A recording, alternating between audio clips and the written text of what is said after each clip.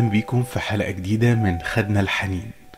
خدنا الحنين برنامج بياخدنا لزمان وذكريات كل واحد فينا يمكن مر بجزء منها أو مر بيها كلها. امسك الريموت قلب في التلفزيون. شوف هيطلع عندك كام قناة تعرض مسلسلات ودراما على نايل سات أو أي قمر تاني.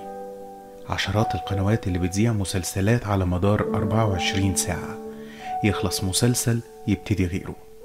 ويجي رمضان تتفاجئ كل سنة بعدد مهول من المسلسلات اللي بتتعمل. لو انت غاوي وعاوز بقى تتابع يبقى مش هتلاحق أصلا تتفرج على إيه ولا إيه. ومهما عملت ومهما خليت يومك 98 ساعة مش هتعرف تتابع كل اللي بيتعرض.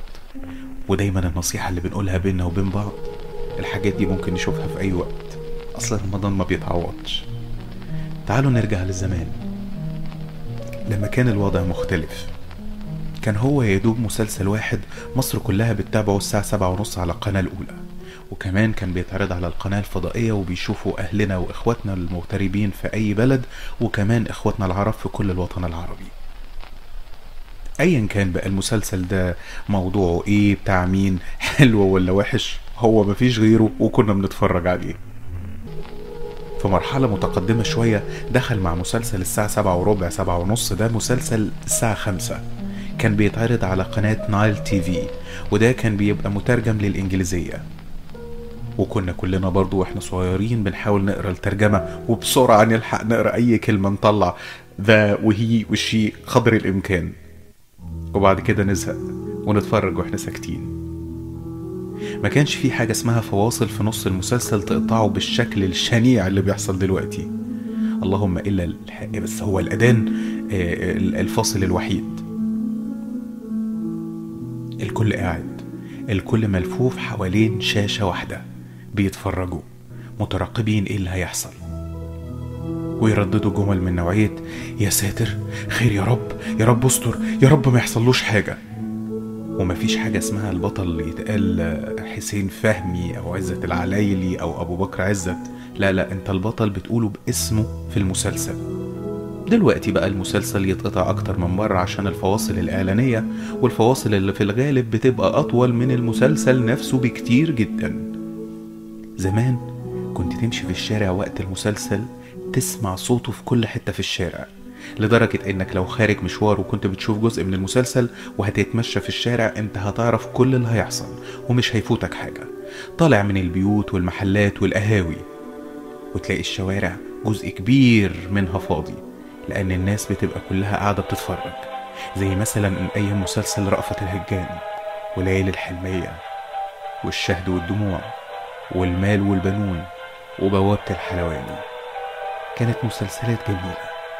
قادرة تجمع العيلة كلها حواليها وتشد انتباه كل الناس وتسيطر على حديث الناس اليومي هسألكوا يا ترى لما كنا بنتكلم وحياتنا كلها منصبة ومحور كلامنا حوالين المسلسلات ده كان ليه؟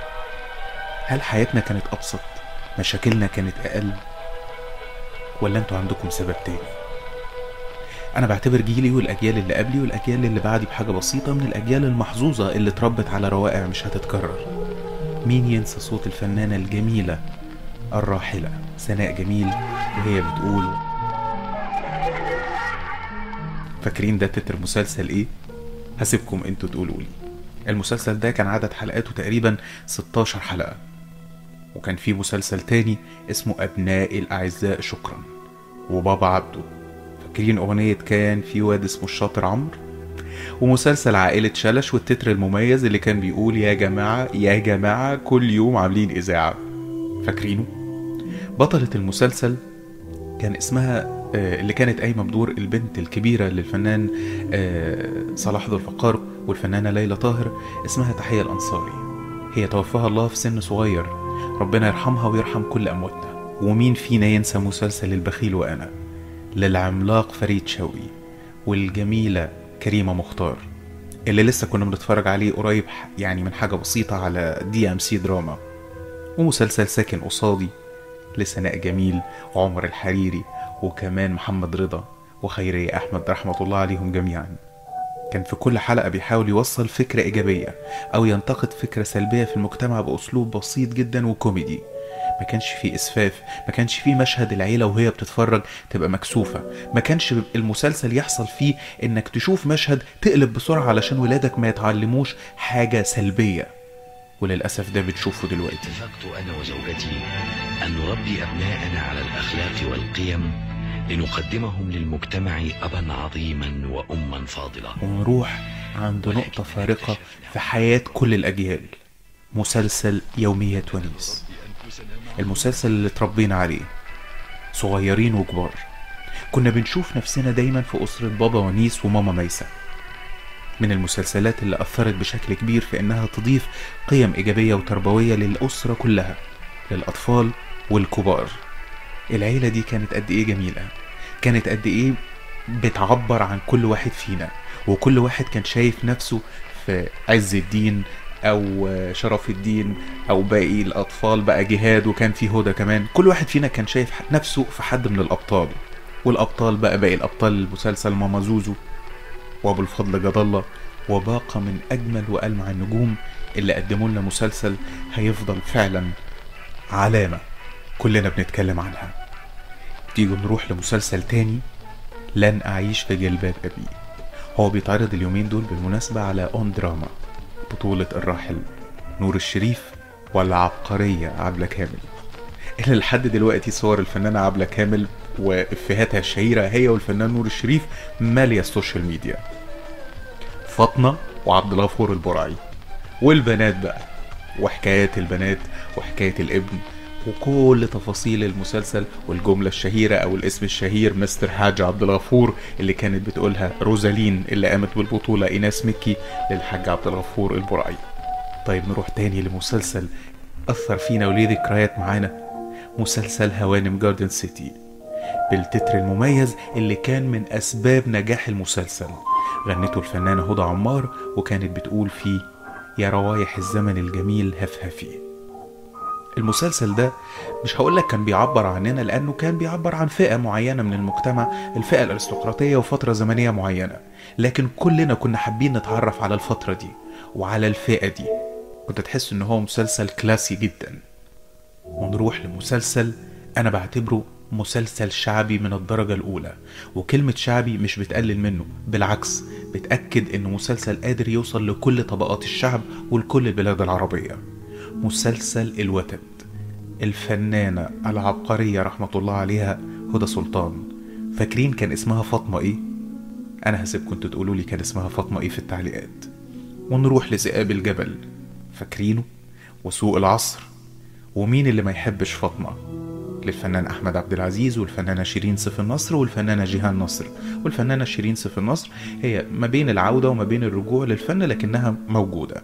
أما الفنانة جيهان نصر هي اعتزلت من زمان ومسلسل نصف ربيع الآخر للفنان يحيى الفخراني والفنانة إلهام شاهين والفنانة فادية عبد الغني. كنا قد إيه بنكره إلهام شاهين علشان خدته من بيته ومن أسرته. وإنت يا يا صديقي العزيز يا اللي بتتابعنا من أي بلد في الوطن العربي قول لي. إيه المسلسل اللي أثر فيك في طفولتك وعرفنا عليه؟ لأن في مسلسلات خليجية من أنجح وأجمل المسلسلات. وطبعا المسلسلات السوري وطبعا من كل البلاد العربية أعمال درامية كلنا بنتوقف عندها وننحني لها احتراما. قد إيه الدراما بتقدر تشكل وجدان الشعب؟ قد إيه الدراما في فترة كانت بتقدم قيم؟ قد إيه المسلسل كان لازم تخرج منه بدرس؟ ما كانش مجرد المسلسل بيجيب أحداث بتحصل وتخرج من المسلسل مرهق نفسيا وذهنيا وخارج كأنك كنت في معركة. حلو إنك تتعايش مع المسلسل لكن اللي مش حلو إنك دايما تلاقي الرد. أصل إحنا بنعبر عن الحياة الواقعية. ما هي دي الواقعية؟ ويجيب القتل والدم والإدمان والمخدرات وأسوأ من كده بكتير والبلطجة اللي بقت مالية المسلسلات. يقول لك أصل ده الواقع. متفق معاك إن ده الواقع. لكن زمان أكيد كان في حاجات سلبية كتير لكن هما دايما كانوا بيحاولوا يعالجوا. وقد إيه كان كل مسلسل في أي بلد عربي بيبين جمال البلد ده. علشان كده كلنا بنتوقف عند المسلسلات التركية وبنقول قد إيه المسلسلات دي ناجحة وقد إيه المسلسلات دي مبينة جمال البلد وجمال أهلها. وجهات نظر. نرجع للنقاد هما فيها اللي يفيدونا يمكن إحنا غلط. طيب محبي المسلسلات الأجنبية. القناة التانية المصرية والقناة الفضائية المصرية كانوا بيجيبوا المسلسلات والقناة التانية طبعا ليها الأولوية. الجيل الصغير شوية المسلسلات اللي هتسمع عنها دلوقتي أو اللي هتسمع أسمائها دلوقتي ممكن ما تكونش عارفها. كان في مسلسل اسمه Knots Landing وكان في مسلسل اسمه Falcon Crest وكان في Knight Rider و The Bold and Beautiful والمسلسل ده كان من أشهر المسلسلات اللي الشعب المصري والوطن العربي كله كان متابعه. هو مسلسل أجنبي آه لكن ريدج وبروك وستيفاني وسالي سبيكترا وكل أبطال هذا العمل كانوا محط اهتمام الشعوب العربية لأن المسلسل ده كان عبارة عن أسرة وكلها صراعات وكانوا بيعملوا في مجال آه، تصميم الأزياء وكانوا شركتين بينافسوا بعض ولكن منافسة غير شريفة. تخيلوا إن المجلات والجرايد علشان تبيع كانت بتجيب الأحداث اللي جاية من المسلسل ولسه ما اتعرضتش وتعرضها وتسردها في صفحات الجورنال وتكتب في العنوان الرئيسي أحداث The Bold and Beautiful هتلاقوها عندنا. مش بقول لكم إحنا كان تفكيرنا بسيط وكانت حياتنا أهدى وأريح بكتير؟ وكان في مسلسل اسمه MacGyver. المسلسل ده ما كانش بيتعرض بصفة يومية. كان بيجي في برنامج أعتقد كان اسمه اخترنا لك والبرنامج ده كان بيعرض مجموعة من الفنون ومن ضمنها في الآخر كان بيعرض المسلسل. هنتكلم عنه في حلقة البرامج إن شاء الله. وكان في مسلسل اسمه X-Files وأعتقد المسلسل ده يعني ممكن كتير يكونوا عارفينه لأن اتقدم في صيغة افلام كان مولدر وسكالي هما اتنين من المحققين اللي بيعملوا في مجال الرعب واللي بيفكرونا بالغالي نادر فوده كانوا بيشتغلوا وبيحققوا في الحاجات الخاصة بما وراء الطبيعة. تعرفوا إن في نكتة مصرية وفي ناس مصرين إنها حقيقة بس هي غالبا نكتة يعني. آه، بيقول لك كان في حد توفى وأعلنوا إن بدل ما يقولوا إن الجنازة بعد صلاة كذا أو الساعة كذا أو بعد وصول الجثمان قالوا إن الجنازة بعد نهاية مسلسل هيركوليز هنعتبرها قصة كوميدية وأسطورية. مسلسل هيركوليز ومسلسل زينة كانوا من المسلسلات اللي فعلا الناس كلها كانت بتحبها برضو. مسلسلين كانوا دمهم خفيف جدا. هيركوليز كان طبعا آه، نصف إله آه، والزينة كانت محاربة أرضية. كان ده مسلسل وده مسلسل ومن حب الناس حول العالم في المسلسلين بدأوا يجمعوهم الاتنين في مسلسل واحد. وهيركيوليز اتعمل منه فيلم كامل لكنه لم يلقى نجاح المسلسل الخاص بهيركيوليز وطبعا بعد نجاح العمل اتعمل منه لعبة شهيرة جدا اتكلمنا عنها في حلقة الألعاب. وكان اسمها برضو هيركيوليز زينة كان ليها صوت مميز جدا وكان ليها آه، حلقة كده بترميها بتحدفها على الناس تموت لها 900 واحد وترجع لها تاني في إيدها. مسلسل حديث الصباح والمساء. المسلسل ده بيعرض برضو اليومين دول وهم تقريبا في الحلقات الأخيرة على دي أم سي دراما. وقناة بتخلصه وقناة بتبدأه. قد إيه المسلسل ده روعة. مين فينا لا يحب ولا يعشق حديث الصباح والمساء؟ هو عن كتاب وعن رواية حديث كل يوم لنجيب محفوظ لكن المسلسل ده فيه البعض كان بيخاف منه لكن كلنا كنا بنحب حديث الصباح والمساء ولا زلنا لحد دلوقتي بنحبه.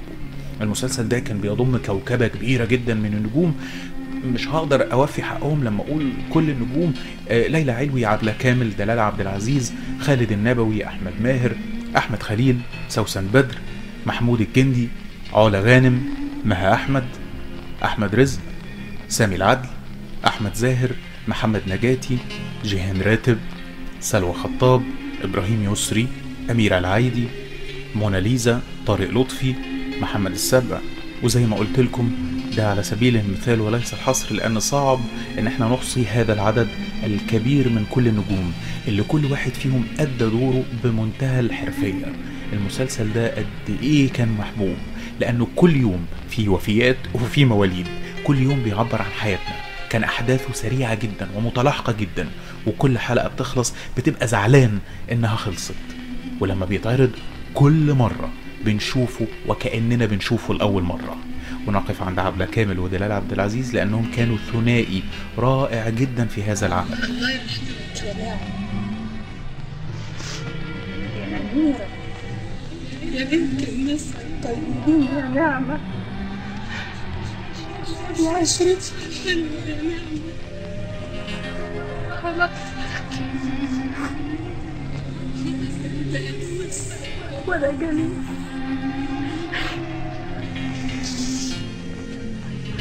علمت تخرج من بعدك يا نعمة. وقرب من بعيد يا رب.